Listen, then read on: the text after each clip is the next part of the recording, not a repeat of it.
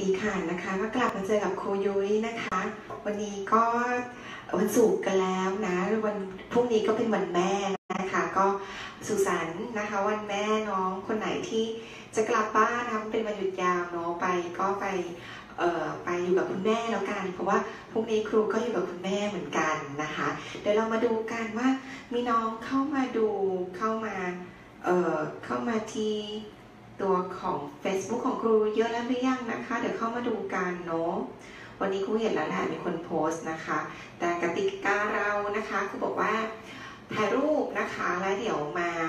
เอ่อมาคอมเมนต์นะคะหนูแนบรูปของครูตอนนี้เลยในไลฟ์นะคะ แล้วก็เขียนข้อความที่อยากจะเขียนนะคะ คนไหนเขียนโดนใจครูครูก็จะให้คนนั้นด้วยแล้วก็ดูรูปด้วยนะคะ ประกอบกันนะคะ เดี๋ยวเราเข้ามาดูว่ามีน้องเข้ามาดู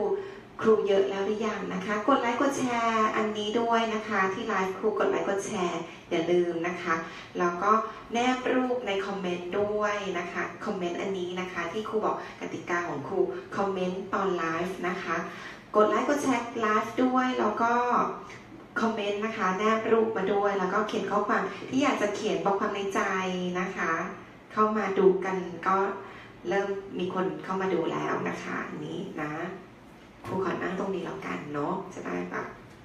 อ่าเดี๋ยวแป๊บนึง นะคะ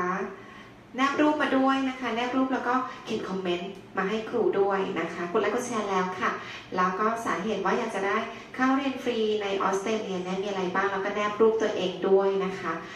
จบไลฟ์แล้ว